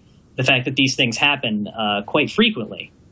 Right. And I think the John, takeaway for our viewers and listeners on the point of music and videos is that we don't have any certainty on this yet. And if you're making something, you know, like Isaac's live lip dub proposal, um, you, you better think long and hard about using something like Bruno Mars because even if the user, or even if the artist approves and and you know it winds up giving great exposure and probably lots of sales to the songs, you still might wind up having that thing taken down. So um, we need to find a better solution to that particular problem, I think, without any question. All right, I have uh, a few things to impart to you as we close up the show today. Uh, a tip of the week for you. Our tip is beware of employers bearing mansions as we uh, come up to the summer um, we have been uh, seeing lots of hackathons happen. In fact, I'd love to say congratulations to the winners of the Hack the Act competition um, at the Brooklyn Law Incubator and Policy Clinic. Uh, it was the uh, DMCA for trademarks uh, submission. The first prize went to really like this notion of trying to come up with legal solutions in a hackathon. But hackathons can cross the line, as serial entrepreneur Ryan Carson sort of grumpily pointed out. Um, that and the uh, analogy I get is sort of to the MTV Beach House, where you throw people into a, a nice sort of cushy environment, but you're completely taking advantage of them. So uh, Ryan writes, next time some someone asks you if you want to crash their hacker mansion for the summer, which has a bar, uh, barbecue and pool table, or team up for a 24 hour hackathon, think twice. They may just be trying to cash in on your youth and optimism. So, um, uh, hackathon at your own risk, I guess, would be the uh, tip for the week and going into the summer. And then our resource of the week comes to me via Gord MacLeod on Google Plus. It is an exhaustive look at the tax implications of the zombie apocalypse. And it's it's somewhat ironic and, and awful in the wake of the uh, gruesome events that happened in Miami earlier this week, um, but perhaps provides an explanation for those because uh, we have here law professor Adam Chodorow taking a stab at estate planning for the undead in perhaps the only legal paper to cite both the Internal Revenue Code and Weekend at Bernie's 2 writes. Uh, I, let's see who's the author of this over at IO 9. We come from the future. Um, we. Uh, we see that zombies um, have certain status that uh, may benefit them or hinder them from a tax standpoint, according to this paper, which is going to uh, be published shortly in um, a law review journal, no less. Uh, and that some people might specifically try to become a zombie or avoid trying to become one for estate planning purposes. So I certainly hope that's not what was going on and we're not seeing uh, the start of a trend. Uh, what with the actual zombie esque attack that happened this week. But the, the article itself is very lighthearted and fun and um, sort of uh, takes legal scholarship to uh, new highs or new lows, depending on your perspective on that. Um, also, would like to point people to, if you have not already checked it out, uh, our sister show here at Twit Triangulation, episode 55 was with Rob Reid, the fellow um, who has written a book that I can't wait to read called Year Zero, that uh, is all about uh, aliens coming and owing us lots and lots of money for the um, file sharing that they are engaging in and uh, pilfering music and owing uh, large amounts of royalties to America or uh, earthbound music publishers. Um, and he's uh, he's also the fellow who did the great copyright math bit at TED, and uh, I commend you to episode 55 of Triangulation because he was wonderful with Tom and Leo on that. Um, so, with that, guys, it's been a really, really fun show, and I really appreciate all your insights and the deep discussion we've had today. Berin Szoka from Tech Freedom, it's been great having you on. Uh, thanks. I just would refer your re- listeners to the Cato Unbound Symposium this month on internet activism and whether it works. I'm doing that with uh, Rebecca MacKinnon and engaging in some of the concerns about internet activism uh, that uh, people like Evgeny Morozov have raised. So we try to provide a balanced perspective there. I encourage your, your readers to visit, and if anyone has anything to contribute to that debate, they can actually blog about it and uh, get featured in there uh, by Cato Unbound. So please check that out. As I mentioned, we have a free ebook called uh, The Next Digital Decade, which is 31 essays by uh, 26 leading academics and thought leaders about a wide range of internet policy issues. So check that out on nextdigitaldecade.com or in your ebook store for free. Thanks so much, Berin. And and folks can find Berin on Twitter. He's Berin Szoka there. Uh, we've really enjoyed your comments and insights today. And Trevor Timm, it's been wonderful to have you back on the show. Well, thanks for having me back. Always a pleasure. Uh, I hope, hope you will uh, continue your great work at EFF. We had uh, some other things that I that you've written lately that I was hoping we could get to today, but we've gone really, really long. So we'll have to have you back on again soon to talk more about privacy related things, drones, and other things you've been writing about at EFF. Anything else you want to plug or let people know that you're involved in? Um, I mean, just real quick on drones, we're actually starting a campaign next week where we're trying to uh, get people to call their local police stations and find out how they're actually, if they're planning on using drones and how they're planning on using them for surveillance. Uh, there was a law that just got passed a couple months ago that mandated the FAA uh, start issuing drone authorizations for anybody who can prove that they can fly them safely. And Homeland Security is giving uh, you know local law enforcement millions of dollars um, so they can essentially buy these drones for free. And there's huge privacy implications with these drones, given that they can fly for hours or days at a time and you know uh, use high definition cameras that can see a milk carton from 60,000 feet.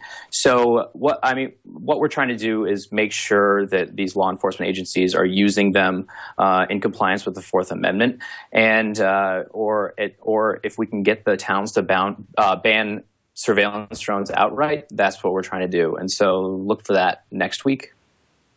Great. Thanks so much, Trevor. Uh, folks, you can find Trevor over at Trevor Timm on the Twitter and, uh, of course, at EFF as well. Uh, John, great to have you join us from Public Knowledge. I hope your water comes back on. Yeah, yeah. Our uh, our public knowledge headquarters is temporarily shut down due to a water main break in DC. But uh, I would encourage you, I would encourage your listeners, if anyone is interested in uh, letting their voice be heard on the issue about ad skipping and Dish, uh, we have a we have an action alert type letter going on at uh, publicknowledge.org. If you click on Act Now, you can uh, send a letter to TV network executives expressing your outrage that you're being accused of being a copyright infringer for skipping commercials. Great. That's I know that uh, we'll have a lot of folks interested in doing that. Uh, so go follow up John uh, also on Twitter. He's at Bergmayer there with an A. Uh, and you can find me between the shows. We've got a Facebook page where you can go and post up comments. And uh, I'm starting a new thing this week where um, there are a wealth. In fact, there are over 33 million Creative Commons images on Flickr with the attribution license. And I've never been able to find a good uh, banner or um, whatever we call that, the larger picture on a Facebook page these days after the recent design change. Um, and I've decided decided to start using uh, one of those and rotating them each week. So go check out our Facebook page to uh, appreciate some fine Flickr work that has been licensed for our and anybody else's use with attribution. And uh, we're also over on Google Plus. You can find us there. Uh, I'm on Twitter, D Howell, or you can email me. I'm Denise at twit.tv. We love hearing from you between the shows. You guys always send us wonderful ideas and stuff, so please keep them coming. And uh, with that, we'll go ahead and wrap up episode 164 of This Week in Law. We've really appreciated your joining us today, and we'll see you next week. Take care.